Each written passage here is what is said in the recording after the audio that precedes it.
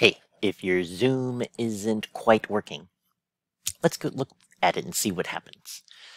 So you're in your Google Classroom. You've got the link here for the morning Zooms. Uh, you can click it and register right before the Zoom at like 8.35, 8.40. If you get there early, that's fine. Just wait. We'll open it at 8.45. Same thing for the 1.30. If you get there a little early, like at 1.20, 1.25, uh, wait till we open the meeting at 1.30. But when you click, here's what should happen. It should have this registration.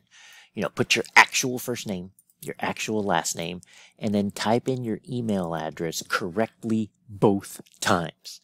Uh, if you type it incorrectly the second time, that's going to stop your registration. Now, when you click on register, going to give you the link. Um, you can add it to your Google Calendar. That's really helpful. But when you click on the link, see what's happening here? It's going to download what it needs to download so I can watch the Zoom. So you click on save, and then it'll say download complete. See that? Launch the meeting. And then you allow it. Uh, and that should do it. It's a small software program that needs to download and install. And when you run it, it'll work on every computer. And then you join with your video and your sound, and you're there. Just hang out and wait till we open it, and uh, you're in. All right, try that. Message me if yours looks different, and we'll troubleshoot.